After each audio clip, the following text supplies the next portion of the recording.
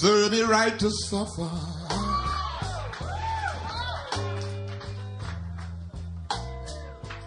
Serve me right to be alone.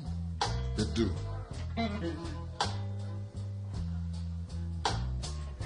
You know it served me right to suffer this way. You know it served me right to be alone, to be alone.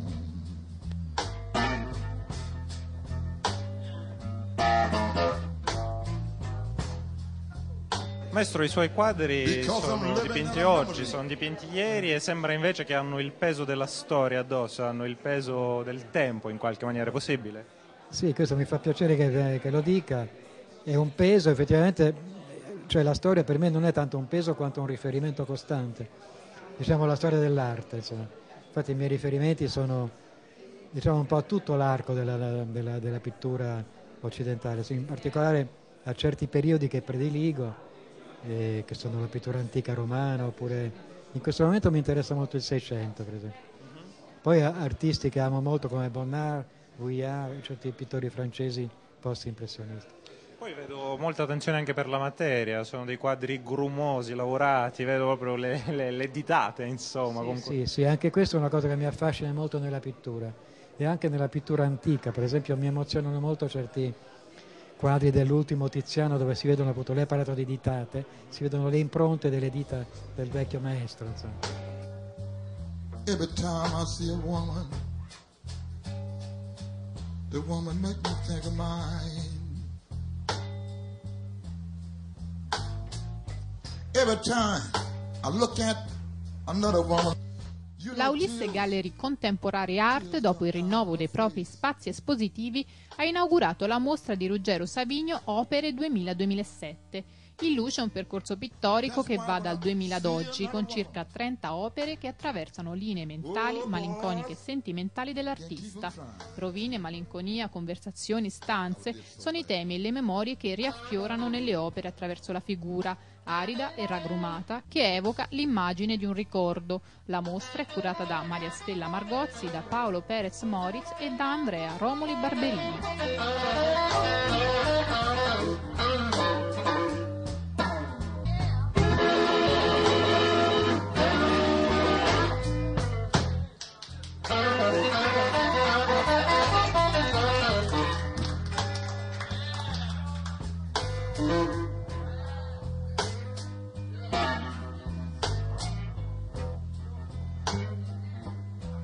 Rispetto all'oggi, no? le sue opere come stanno oggi, no? nel, nel tempo un po' sfuggevole? no? In Nel- che senso? Come sta?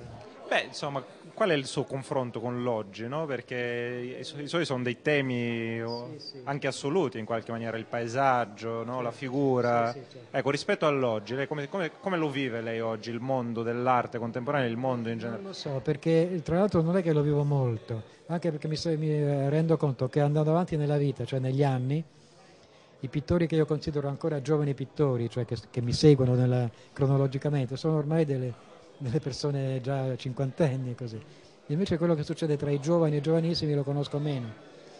Però devo dire che mi interessa la pittura ancora mh, diciamo con mezzi tradizionali, con quello che, che il mio pennello, colori eccetera. Quindi intorno non vedo molto di, di- di- di tutto questo. Lei, lei è un pittore figurativo, si può dire che è figurativo, no? Si può dire, sì, si può dire, si può dire. Però nello stesso tempo c'è una forma sfuggente no? che, che si forma- crea e si, e si disfa, Sì, insomma. che si crea, sì, esattamente. A me interessa una, una immagine, una figura che al momento in cui si presenta si, si- si distrugge, come dire, no? che affiora e scompare. E questo forse è una eredità del movimento, della pittura che, che vedevo intorno a me quando ho cominciato, che era la pittura informale, insomma, che mi pare che è rimasta come, come spunto e come stimolo. Eh, My doctor put me on milk, cream and alcohol.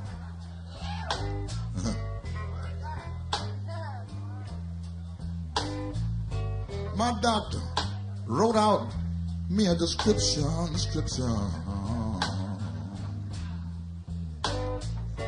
Johnny, get milk, cream, and alcohol, alcohol.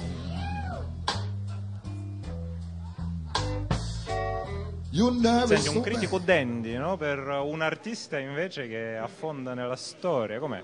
Allora, il- l'artista che fonda la storia mi sento di confermare la tua idea.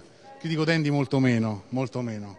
Eh, scherzi a parte, l'artista è un artista importantissimo, eh, la mostra è una mostra notevole con oltre 30 opere, alcune di grandi dimensioni.